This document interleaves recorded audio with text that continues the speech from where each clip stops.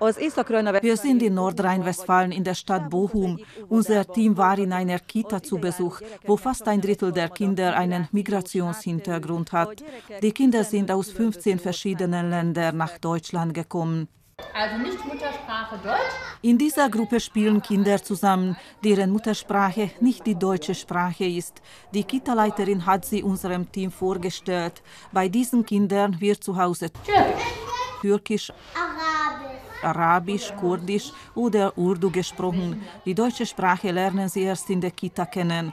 In dieser Institution vertreten die Kinder 15 verschiedene Nationalitäten, beherrschen also als Muttersprache ebenso viele verschiedene Sprachen sagte die Kita-Leiterin. Birgit Piekert hat gleichzeitig betont, sie bemühen sich aber kontinuierlich darum, dass die Kinder bei der Kommunikation miteinander nicht so viele verschiedene Sprachen benutzen, sondern in Deutsch kommunizieren. Das ist nicht immer so ganz einfach, ähm, weil wir oftmals die erste Institution sind, die sie kennenlernen und für die Familien, für die Kinder und Erwachsenen alles fremd ist. Bei der Kommunikation mit den Kindern oder mit ihren Eltern ist oft eine Dolmetscherin behilflich. Vor anderthalb Jahren hat man hier eine arabischsprachige Betreuerin angestellt. Sie ist vor mehr als 20 Jahren aus Marokko nach Deutschland gekommen. Schwierigkeiten habe ich, äh, sage ich mal so, wenn vielleicht ein Kind kein Arabisch spricht, ne, dann versucht man trotzdem mit Hände und Füße und so äh, die Eltern und die Kinder alles ähm, äh, äh, zu erklären, aber klappt, ne? Sagte die Betreuerin. Sie hat auch darüber gesprochen, dass die Kinder oft traumatisiert in Europa in einer völlig anderen Kultur ankommen.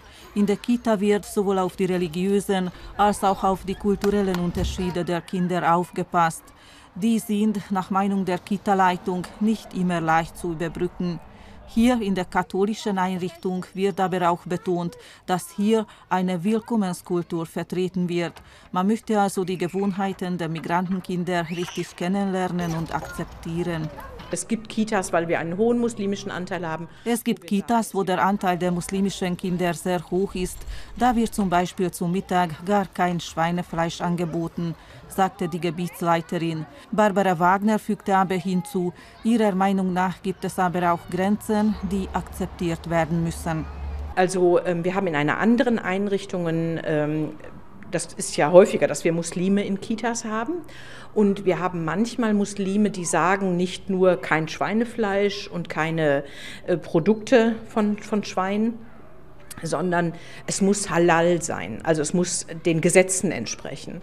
Und das können wir nicht, sagte Barbara Wagner. Es gibt auch Kitas, wo der Migrantenanteil noch höher ist, zum Beispiel solche, wo die Hälfte der Kinder nicht aus einer deutschen Familie stammt. Sie vertreten andere 21 verschiedene Nationalitäten.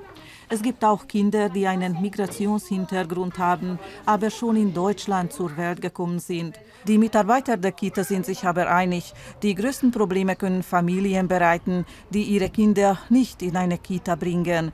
Da besteht die Gefahr, dass sie ausgegrenzt leben und sogenannte parallele Gesellschaften bilden werden.